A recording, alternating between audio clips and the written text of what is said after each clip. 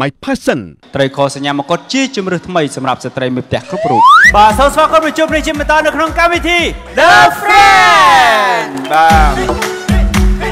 បាទពេលវេលាប្រកួតប្រជែងបានឈានចូលមកដល់នៅក្នុងវគ្គទី1កម្មវិធីរបស់យើងនឹងធ្វើការប្រកួតប្រជែងបាទវីដេអូឃ្លីបពាក់ព័ន្ធនឹងជីវប្រវត្តិឧបនិស្ស័យចំណងចំណុចចិត្តរបស់បេក្ខជនទាំងពីរដើម្បីឲ្យតារាក្រយុទ្ធទាំង14ធ្វើការដាក់ពិន្ទុហើយបាយកងក្រុមលេខទី1ឥឡូវឈ្នះឈ្នះឈ្នះយកកាន់ណា ហ្នឹងហើយអូខេណាតាអូខេតែមួយម្ដងឯណាម្ដង1 2 3ចា៎ចាណាអូខេត្រូវហើយតាអូខេនេះកូនក្រុមខ្ញុំនេះកូនក្រុមគាត់អូខេអ្នកចាំមានជាងអីធម្មតាកូនក្រុមខ្ញុំក៏ប៉កែតោះអូខេលោកលោកស្រីនាងកញ្ញាក៏ដូចជាតារាក្រយុទ្ធទាំង14នៅពេលនេះសូមអញ្ជើញទស្សនាវីដេអូជីវប្រវត្តិរបស់បេក្ខជនទី1ដូចតទៅសូមអញ្ជើញបាទសម្រាប់បាទបើនិយាយពីរឿងគ្រួសារវាមានតាំងពីភាពសបាយ បាទភាពកំសត់សម្រាប់ខ្ញុំបាទឆ្លងកាត់ពីតូចមកដល់បាទទំមមានការងារដល់ថ្ងៃនេះសម្រាប់គ្រួសាររបស់ខ្ញុំដែលខ្ញុំចងចាំនៅភាពកំសត់មួយ សម្រាប់ខ្ញុំគឺថ្ងៃមួយដែលខ្ញុំបាទតមកជាមួយប៉ាដោយសារតែខ្ញុំពីតូចមកខ្ញុំតែងតែគិតថាអីយ៉ាប៉ាអត់ស្រឡាញ់ដោយសារតែប៉ាតែងតែស្ដីបន្ទោសថាឲ្យដូចម៉ាក់ឯងម៉ាក់គាត់ប្រកែថ្នមចិត្តដោយសារតែម៉ាក់ អឺជំនឿស្អីនឹងថាថាគាត់យ៉ាងម៉េចឯងតែគាត់ស្រួលស្រួលជាងប៉ាប៉ាគាត់អត់សូវជាអឺមកធ្វើជាផ្អែមល្ហែមជាមួយកូនទេប៉ុន្តែប្រហែលជាក្នុងចិត្តគាត់គឺខ្ញុំដឹងថាគាត់ស្រឡាញ់កូនថ្ងៃមួយខ្ញុំតែងតែគិតខ្ញុំគិតតាំងពីក្មេងរហូតមកដល់ធំខ្ញុំតែងតែគិតថាអឺប៉ាអត់ស្រឡាញ់ទេអញ្ចឹងអឺថ្ងៃមួយដែលប៉ាស្ដីឲ្យក៏ហ៊ានតមាត់ជាមួយគាត់ហើយក្នុងថ្ងៃនោះជាថ្ងៃដែលខ្ញុំចងចាំគឺខ្ញុំ ចេញពីផ្ទះតាំងយប់ម៉ោង7យប់ដោយក្នុងខ្លួនអត់មានលុយទេអត់មានលុយមួយរៀលក្នុងខ្លួនអីយ៉ាគឺមានតែកៅអៅមួយមួយបង្វិចបាទចេញពីផ្ទះហើយអត់មានអីជីទៀតពេលណាអត់មានអីជីទៀតអញ្ចឹងក៏មានរបស់ជក់ខ្លួនតិចតួចសុំអឺអឺម៉ូតូតាមផ្លូវជិះធ្វើដំណើរដើម្បីទៅរកកន្លែងស្នាក់នៅឲ្យបានរួចរួចមួយថ្ងៃសិនណាក៏អត់មានកន្លែងនៅទៅសុំបាទលោកស្នាក់នៅ លោកក៏គាត់អឺឲ្យស្នាក់នៅបដោះសនសិនរួចអឺបន្ទាប់មកបានបាទខាងយាយគាត់តាក់ទងមកចេះតែបន្តបន្តបន្តមានការងារអញ្ចឹងទៅសុំគេច្រៀងផងអីផងអញ្ចឹងទៅតម្រុំតែបានមកដល់សប្តាហ៍ថ្ងៃហ្នឹងអញ្ចឹងថ្ងៃមួយក៏ក៏ម៉ាក់ខលមកគាត់ផ្ញើលុយឲ្យអញ្ចឹងទៅតែក៏អត់ប្រហៅឈ្មោះថាថាប៉ាទេដល់ថ្ងៃមួយខ្ញុំសួរថាអឺអឺម៉ាក់មិនផ្ញើលុយខ្ញុំអញ្ចឹងជុំយំទៀតព្រោះប៉ាគាត់អ្នកអឺគ្រប់គ្រងលុយតែផ្ញើមកឲ្យអញ្ចឹងក៏គាត់ថាប៉ាអ្នកផ្ញើឲ្យហើយប៉ាប្រាប់ថាគាត់នឹកគាត់បារម្ភហើយចង់ឲ្យទៅផ្ទះវិញទៅគេគាត់ប្រាប់ខ្ញុំថាគាត់ស្រឡាញ់ខ្ញុំអញ្ចឹងចាប់ពីថ្ងៃហ្នឹងមកខ្ញុំក៏អីយ៉ាអឺធ្វើឲ្យអារម្មណ៍ខ្ញុំសប្បាយចិត្តហើយខ្ញុំឈប់គិតអកតេចំពោះប៉ាអីយ៉ាខ្ញុំដឹងថាប៉ាស្រឡាញ់ខ្ញុំប៉ុន្តែកន្លងមកដែលខ្ញុំអន់ចិត្តខ្ញុំគិតច្រើនមកដោយសារតែប៉ាគាត់អត់សូវចេះផ្អែមមានអាម៉ាក់ឯងដែលចេះយកចិត្តអញ្ចឹងតែ អឺតទៅគាត់វិញថាបែរខ្ញុំអត់ស្រឡាញ់ខ្ញុំចេះចេះចេះចេះតែពេលនេះខ្ញុំចាក់អារម្មណ៍ឃើញគាត់សក់ទឹកភ្នែកខ្ញុំសក់ទឹកភ្នែកដូចគ្នាអានេះមួយជារឿងបាទប្រចាំជីវិតរបស់ខ្ញុំដកជាប់មកដល់សប្តាហ៍ថ្ងៃពីបាទទឹកចិត្តនៃក្តីស្រឡាញ់សម្រាប់គ្រួសាររបស់ខ្ញុំហើយសម្រាប់បាទការរៀនសូត្រខ្ញុំបានបញ្ចប់បាទការសិក្សានៅបាទថ្នាក់ទី12ផងដែរដោយសារតែកាលនោះចង់រៀនតដែរប៉ុន្តែក៏អាណិតប៉ាឃើញប៉ាធ្វើការម្នាក់ឯងហត់អញ្ចឹងទៅ ក៏សម្រេចចិត្តថាអឺព្យួរការសិក្សាសិនមកធ្វើការដើម្បីរកលុយជួយគ្រួចាប់សារគេសិនឹងនស្អាតដល់ចាប់អីដូចព្រោះឈួអាតណិតប៉ាហើយអឺសម្រាប់ការងារគឺមានការតស៊ូច្រើនមែនទែនដោយសារតែពីដំបូងមកភ្នំពេញអត់ស្គាល់នរណាទេគឺអឺព្យាយាមបាទតំណតំណងការងារសុំបងបងដែលស្គាល់ហ្នឹងទៅជ្រៀងជួនកាលទៅជ្រៀងជួយគាត់ free ទៅមើលទៅរៀនសូត្រពីគាត់ដើម្បីឲ្យបានតំណតំណងសម្រាប់បាទ ការងារថ្ងៃក្រោយតែទទួលបានប្រាក់កម្រៃនោះតិចតួចទេកាលហ្នឹងដូចជាអឺ7ដុល្លារទេ7ដុល្លារហ្នឹងមិនមែនរងថ្ងៃទេយូរយូរម្ដងឯងជួនកាលកន្លះខែម្ដងក៏មានដែរគឺថាពិបាកមែនតើហើយសម្រាប់បើចំណងចំណូលចិត្តនៃការរាប់អានមិត្តភ័ក្តិខ្ញុំបាទចូលចិត្តមិត្តភ័ក្តិដែលចូលចិត្តនិយាយលេងសើចសប្បាយអត់ប្រកាន់គ្នាទេហើយអឺមានទុកមានអីអាចនិយាយគ្នាបានអាចអឺទុកចិត្តគ្នាបាន ហើយអ្វីដែលខ្ញុំអឺអត់ចូលចិត្តមិត្តភ័ក្តិដែលអាដើរជាមួយគ្នាខ្សែលើគ្នាឬក៏និយាយដើមពីគ្នាអាក្រក់ពីគ្នាចូលចិត្តមិត្តភក្តិណាដែលត្រង់ត្រង់ពួកខ្ញុំជាមនុស្សត្រង់មនុស្សដែលចូលចិត្តនិយាយលេងសើចសប្បាយច្រើនអញ្ចឹងខ្ញុំត្រូវការមិត្តភក្តិដែលដែលចូលចិត្តនិយាយលេងចូលចិត្តបាទពេលតនេផាគ្នាប្រអាប់គ្នាអញ្ចឹងទៅលេងសើចសប្បាយហើយបើសិនជាមានទុកបាទអាចផ្ដល់ជាវិភាសាបាទយោបល់ល្អល្អឲ្យគ្នាទៅវិញទៅមកអញ្ចឹង នេះជាអ្វីដែលខ្ញុំចូលចិត្តសម្រាប់ការរាប់អានមិត្តភ័ក្តិយើងពិតជាជួសចិត្តដិតអារម្មណ៍ជាមួយនឹងប្រវត្តិកូនក្រុមរបស់ខ្ញុំដែលមានការតស៊ូបាទជឿជាក់ថាធានាបាទអញ្ចឹងសូមឲ្យមេក្រុមនឹងនិយាយសារឡើងវិញពីខាងកូនក្រុមឥឡូវបើសិនមកនិយាយបានមិនបាននិយាយបាននាងខ្ញុំមានថវិកាជូន100,000រៀលដល់ជាតិនឹងអស់ហើយមកអូដល់ជាតិវាខុសអន្តកៈចាជាអស់លុយគ្រប់នៅ គ្រប់ហើយអត់ចេះបងរំលោះទេយ៉ាអូខេបាទអញ្ចឹងបើសិនបើពេញចិត្តនរៈគឺនរៈមានពណ៌បៃតងអូបៃតងបាទនេះគឺបៃតងណាបាទប្រវត្តិកូនក្រុមរបស់នាងខ្ញុំគឺតស៊ូទូរផឹកជាងកូនក្រុមខ្ញុំទៀតបាទកំសត់ណាកំសត់ណាស់បងប្អូនដោយសារតែមានការយល់ច្រឡំគាត់គឺជាមនុស្សវិរៈបុរសមួយគត់ដែលគាត់បានជួយសង្គ្រោះម្នាក់ស្រីដែលគាត់កំពុងតែឆ្លងទន្លេនៅលើទូកពេលហ្នឹងក៏គាត់សុខចិត្តហាយឆ្លងពីទន្លេសាបមកទន្លេមេគង្គបើសិនជាជាប់ជាប់ ខាងបានធីកហើយមិនមែនជួបខាងប្រវត្តិគឺជួចត់មែនតែនទៅជាប្តីគេចោទថាគាត់នឹងដណ្ដើមប្រពន្ធគេវិញងាប់ធ្លាក់ធំដណ្ដើមប្រពន្ធគេហ្នឹងហ្មងរឿងនេះទុកឲ្យវីដេអូជាអ្នកបកស្រាយចោះសូមជួយជាមួយនឹងបេក្ខជនទី2ដូចតទៅបាទនៅក្នុងគ្រួសារខ្ញុំខ្ញុំមានបងប្អូន3នាក់អឺខ្ញុំជាកូនពៅគេហើយបងប្រុសជាបងប្រុសបន្ទាប់ខ្ញុំហើយបងស្រីរៀមច្បងគេ គាត់មានគ្រួសារអស់ហើយហើយខ្ញុំនៅលាវអឺនិយាយពីគ្រួសារខ្ញុំដែលខ្ញុំនៅចាំបាន គឺជាគ្រួសារតូចមួយ ដែលកំសត់ដែលនិយាយទៅកំសត់កំរអត់មានអត់មាននឹងគេ តាំងពីរបស់របរតាំងពីដីធ្លីតាំងពីផ្ទះគឺនិយាយទៅគឺគ្រួសារតូចមួយ ហើយខ្ញុំជាអ្នកនេសាទជាអ្នកនេសាទមួយ អឺប៉ាជាអ្នកនេសាទដោយសារការពិបាកខ្ញុំក៏បានអឺនេសាទជាមួយគាត់ចុះទឹកចុះអីហើយការនេសាទហ្នឹងគឺមិនដែលបាននៅស្រុកគឺគាត់តែងតែយើងចេញពីស្រុកទៅរនៅស៊ីនៅខេត្តនៅកោះគេនៅកោះត្រើយដាច់ស្រយាលដែលមានភ្នំតំបន់ភ្នំ គឺរស័តកោះត្រើយជាមួយគាត់ជាគ្រួសារមួយហ្នឹងជាមួយប៉ាជាមួយម៉ាក់ហើយ ការរកស៊ីនេសាទនេះ គឺមិនងាយស្រួលទេព្រោះថាយើងមានការជួបការលំបាកច្រើននៅការជួបព្យុះភ្លៀងហើយជើងយើងអត់ដល់ដី គឺនៅលើទឹកពេលដែលចេញពីកោះមួយឆ្នាំយើងមកស្រុកលេងម្ដង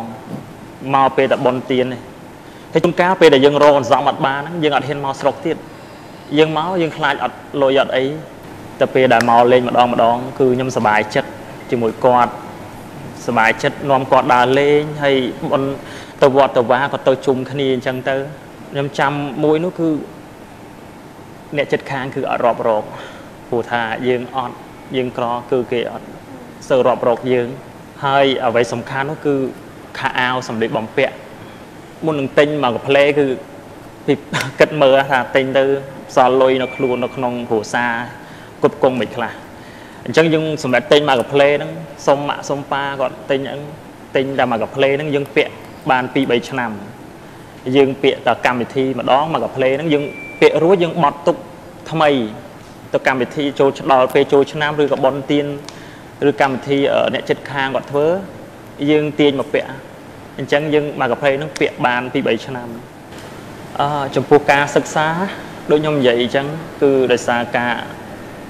អត់គ្រួសារអត់អញ្ចឹងទៅរៀនអត់បានច្រើនណារៀនអត់បានច្រើនហើយយើងក៏ត្រូវបង្ខំផាកឈប់ពីការសិក្សាហើយមកជួយរកស៊ីគាត់នៅសមុទ្រហើយចំពោះនឹងការងារសិល្បៈអ្នកចម្រៀងនោះគឺខ្ញុំចូលចិត្តតាំងពីទូទូចឃើញរៀមច្បងគាត់ល្បីហ្នឹងចង់មានឈ្មោះមានអីដូចគាត់ចឹងចឹងដោយសារខ្ញុំមានប្រសើរជាងមុនបន្តិចគឺដោយសារសិល្បៈគឺខ្ញុំបាន ចូលប្រឡូកសិល្បៈបាទចូលដោយសារការស្រឡាញ់តាំងពីច្រៀងនៅធុងបាសគេបានតិចតស៊ូច្រៀងគ្រប់កន្លែងទាំងអស់សុំគេច្រៀងផ្លោះមួយទៅផ្លោះមួយបាទហើយក៏មានកម្មវិធីប្រឡងនៅតាមអឺប៉ុស្តិ៍ប៉ុស្តិ៍ដែលល្បីល្បីនៅស្រុកខ្មែរយើងក៏ខ្ញុំឆ្លៀតទៅដាក់ទៀតយ៉ាប់ ដើម្បីទុកមកអឺការស្រឡាញ់ដើម្បីចង់មានឈ្មោះឲ្យគេស្គាល់វិបត្តិខ្លាំងណាស់អញ្ចឹងខ្ញុំក៏ឃើញការប្រឡងខ្ញុំក៏ចូលទៅដាក់ពាក្យប្រឡងប្រឡងប្រឡងហ្នឹងគឺចង់ឲ្យគេស្គាល់ចង់មានក្រុមហ៊ុនគេតាក់ទងមកយើងតែតែប្រឡងសានហ្មងជាច្រើនយើង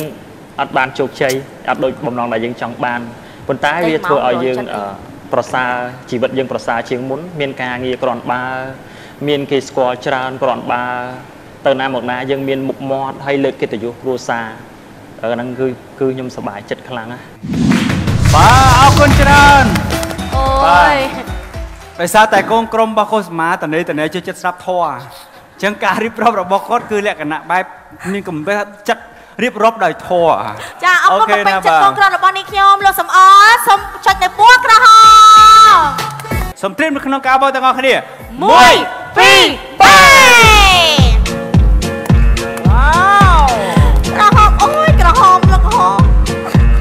គុណជើងយើងឃើញថានៅវគ្គនេះគឺសំអល់គឺទទួលបានបាទ7 10បន្ទូអរគុណអរគុណអរគុណបងបៃតងទទួលបាន4បន្ទូសូមវគ្គទី1សម្រាប់នៃការចាញ់សូមឲ្យក្រុមអឺបៃតងកើតទៅចាចុះទៅជីវិតជីវិតនេះមកពីយើងភ្លេចរៀបរាប់យើងយើងក្របាទហើយយើងទៅទទួលពីណីបងហើយចាន់ស្រីពេជ្រ មូលហេតុអីបានជីវិតអ្នកនេគេសាទយ៉ាងចូលស្រីពេជ្រទៅចាំស្រីពេជ្រស្រីពេជ្រតាមិញចាំស្រីពេជ្របាទខុសតាពួកគាត់ទាំងពីរថាជីវិតរបស់ពួកគាត់នឹងឈឺចាប់ដូចគ្នាលំបាកដូចគ្នាចាបាទប៉ុន្តែអ្វីដែលខ្ញុំអឺពេញចិត្តជាងគេនោះគឺពណ៌ក្រហមដោយសារគាត់អឺជីវិតជាអ្នកនេសាទណាឃើញថាពិបាកមែនតើពេលខ្លះឥឡូវមែនជឿទេសួបรงសើសួរប្រគៀម1គីឡូម៉ានឥឡូវឥឡូវប្រគៀម1គីឡូម៉ាន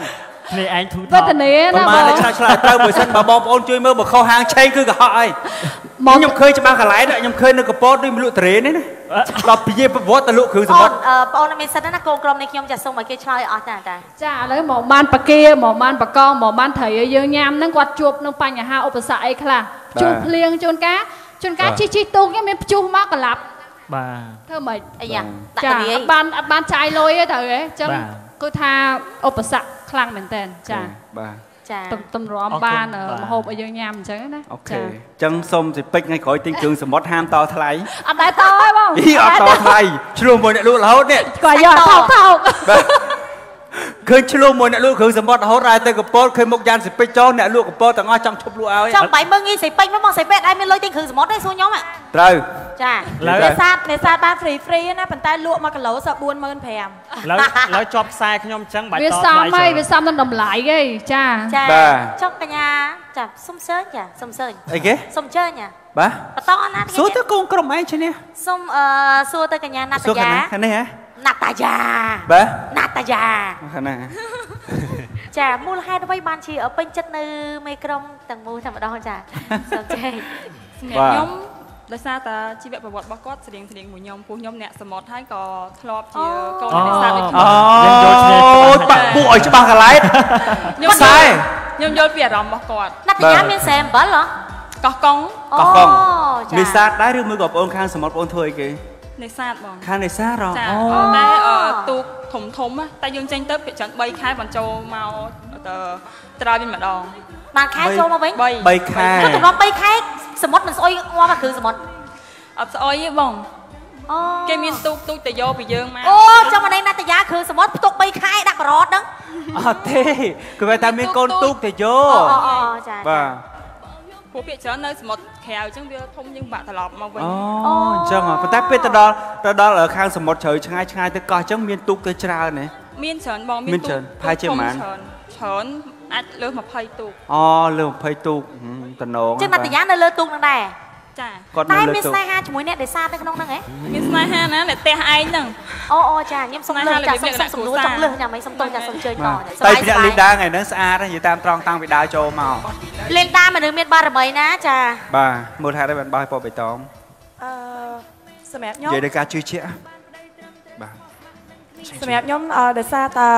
ខ្ញុំក៏ជាមនុស្សអឺតូចចិត្តឆាប់តូចចិត្តដូចអឺរ៉ាក់ដែរហើយធ្លាប់កាន់តែទូធ្លាប់អញ្ចឹងដែរហ៎ ហ៎អើចូលលើដូចអត់ទេបាទចង់និយាយថាយើងជាមនុស្សស្រីយើងអត់អាចគ្រាន់តែយើងអឺដូចថាប៉ាគាត់ដូចគាត់និយាយត្រូវប៉ាគាត់អត់សូវចេះអឺបណិបណៈផ្អែមមួយយើងឯងអញ្ចឹងបាទអឺអ្វីដែលគាត់និយាយគាត់រៀងគំរូគំរើយឬក៏គាត់ទៅធ្វើការអីអញ្ចឹងបាត់បាត់អញ្ចឹងណាយើងគិតថាគាត់មិនស្រឡាញ់យើងព្រោះយើងក៏មានបងប្អូនច្រើនដែរបាទគិតថាយើងស្រីតែម្នាក់ឯងព្រោះខ្ញុំកូនស្រីតែម្នាក់ឯងភាគច្រើនបាទអឺមានបងប្រុសដល់ពេលអញ្ចឹងគិតថាគាត់អត់ស្រឡាញ់យើងយើងតូចចិត្តដូចគាត់ដែរណាប៉ុន្តែចុងក្រោយគឺប៉ាខ្ញុំស្រឡាញ់ខ្ញុំជាងគេ អូយដល់ខ្ញុំហ៎បាទតោះមកតៃវិញម្ដងមូលហេតុអីបានបោះឲ្យពណ៌បៃតងបាទដោយសារតែបង្តីចូលចិត្តតែផាត់មុខនៅវីហ្វ្រេនអត់មានផាត់មុខទេបាទអឺចានាងខ្ញុំអឺដោយកញ្ញាសុផាលីណាអញ្ចឹងសម្រាប់នៅខ្ញុំគឺជាមនុស្សប៉ិនតូចចិត្តហើយអញ្ចឹងទៅភាគច្រើនអន់ចិត្តច្រើនអូតូចចិត្តមធ្យមឯណាងុំសែវហ៎អូនេះសើសាហាវណាអត់សែវទេចរិតខ្ញុំស្រួលតែខឹងទៅហើយហើយហើយហាក់ចេះគុំទេអូ ចាអត់ទៀតថ្ងៃមុនគុំហ៎គុំឯងនិយាយរួមខ្ញុំប៉ិនតូចចិត្តដូចគាត់អញ្ចឹងអឺការប៉ិតបងខាងក្រហមហ្នឹងក៏ជីវប្រវត្តិគាត់ក៏កំសត់ដែរខ្ញុំយល់ដូចគ្នាប៉ុន្តែចិត្តគាត់ហ្នឹងគឺសរៀងខ្ញុំដោយសារគាត់ប៉ិនតូចចិត្តដូចគ្នាហើយបាទសម្រាប់គាត់គាត់ក្លាហានណាស់ណាគាត់ហ៊ានចេញទៅផ្ទះបើសម្រាប់យើងយើងជាស្រីយើងអត់ក្លាហានទេហើយគាត់ចេញទៅគឺគាត់ តស៊ូគាត់នៅក្នុងវត្តបាទហើយអញ្ចឹងអឺខ្ញុំខ្ញុំចុចគាត់ដោយសារតែចិត្តគាត់អឺស្រៀងមួយខ្ញុំហើយក្លាហានបាទអូខេបាទអរគុណអឺជីវប្រវត្តិរបស់អឺបែកក៏កូនក្រុមទាំងពីរដែលប្រគល់ថ្ងៃនេះគឺមានរឿងម្យ៉ាងម្នាក់ណាចាម្នាក់គឺអឺនរៈគាត់បានតូចចិត្តជាមួយនឹងលោកឪពុកដែលអត់សូវស្រឡាញ់គាត់គាត់ក៏ដើរចេញពីផ្ទះចាហើយក៏មានអ្នកគ្រប់គ្រងគាត់ដោយសារតែតូចចិត្តដូចគ្នាអញ្ចឹងចាសរុបមកវិញចំណុចត្រង់នេះចង់ឲ្យបងប្អូនទាំងអស់គ្នាក៏ដូចជាសួរទៅកូនស្មាវិញការសម្រេចចិត្តនៅពេលដែលអន់ចិត្តជាមួយនឹងលោកឪពុកពេលដែលពេលហ្នឹងគាត់ដើរចេញពីផ្ទះតើការសម្រេចចិត្តរបស់គាត់ហ្នឹងសម្រាប់កូនស្មាគិតថាម៉េចដែរសម្រាប់ខ្ញុំគឺពិតជាមិនត្រឹមត្រូវទេយើងជាកូនអើយោអូយើងត្រូវតែគោរពស្ដាប់ដំបូន្មានរបស់គាត់ អូខេចង់សួរទៅម្ចាស់ខ្លួនអរៈដែលជាអ្នកបាទជួបបងរឿងផ្ទាល់តែម្ដងកាលបាទនោះបងអូននៅក្មេងបងបានសម្រេចចិត្តដើរចេញពីគ្រួសារបាទនៅពេលដែលអន់ចិត្តជាមួយប៉ាបាទចុះបើឥឡូវវិញពេលធំពេញវ័យចេះគិតចឹងតើនឹងសម្រេចចិត្តធ្វើដោយកាលមុនឬមួយក៏មិនពីមុនដោយសារតែនៅក្មេងខ្ចីហើយអឺការគិតនោះក៏